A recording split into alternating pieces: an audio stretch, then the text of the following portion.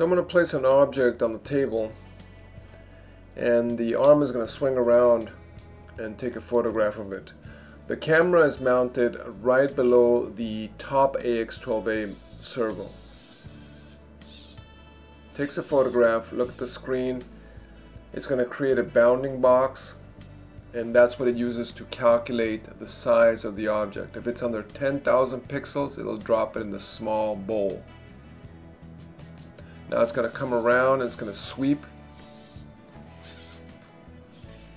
The relay is going to turn on the electromagnet, so the electromagnet is activated now.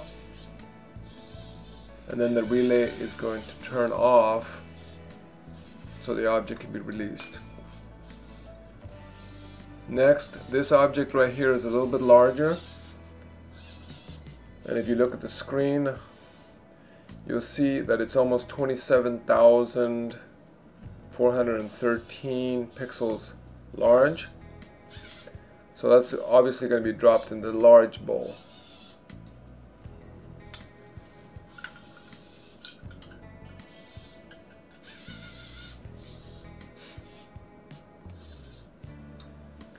These uh, connectors are made of wood. So they're balls of wood and they're just painted. So this object obviously is a lot smaller. You can see that it's 512 pixels. Again, comes around, activates the electromagnet. And then the electromagnet shuts off. And in this video series, I will show you exactly how to recreate this project at home.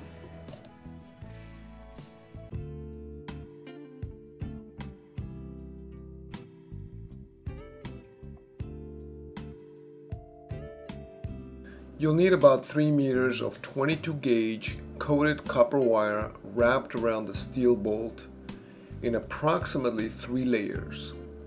One end will go to the 5 volt relay negative black, and the other end will go directly to the power supply, positive red. Remove copper wire coating at the ends with a lighter and sandpaper.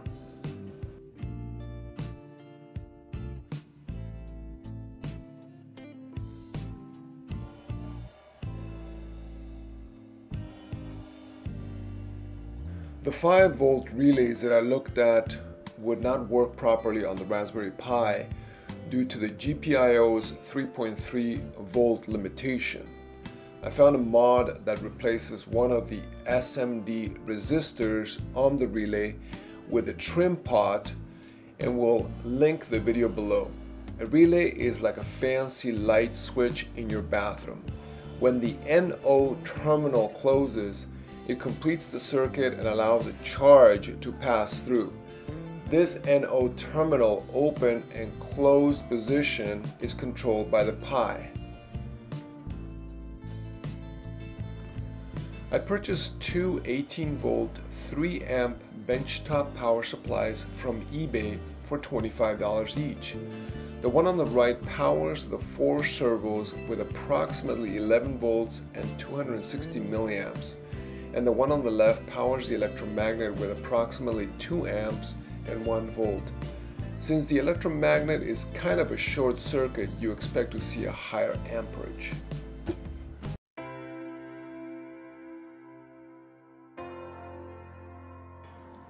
Mount the camera onto two 4 by 1.25 centimeter wood pieces with M1 by 3 wood screws.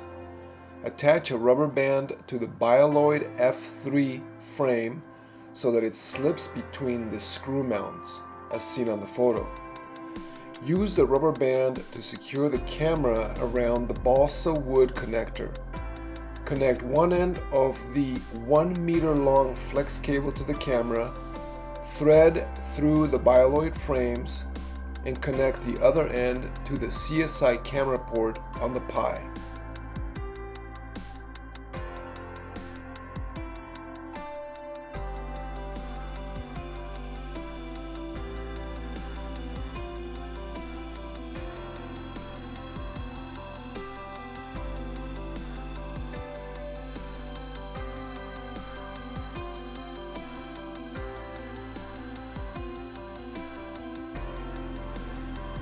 The 74LS241 octal tri-state buffer on a breadboard is used to manage UART communications between the Pi and the servos. This way, we save money that would otherwise be going to some type of controller like the CM530, Arbotix M, USB to serial cable, etc. The small blue 170 point breadboard is an alternative to the larger 830 point board. On the GitHub repository, I have very large photos of everything in case you need to see more detail. I strongly encourage you to view my earlier 5-part video series on YouTube because this magnet arm project builds on that series.